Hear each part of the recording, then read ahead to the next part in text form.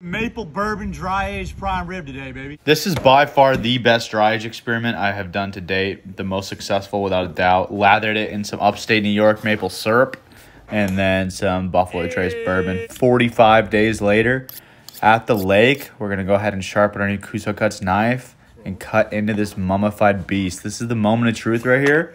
And I was just mind blown at this. Uh, very little loss of meat. So the whole ribeye cap is still there. I mean, it could not have gone any better. It was by far the best dry I've ever done. Seasoned it up with some dirt and some truffle salt, reverse seared them. The flavor was just insane. 45 days is definitely what I would recommend if you're going to try to dry age at home. The meat was absolutely butter. The loss of meat was super low, so we got to keep that whole ribeye cap. Best part of the steak and that maple bourbon flavor profile was just unmatched. Let me know what you guys want to see next.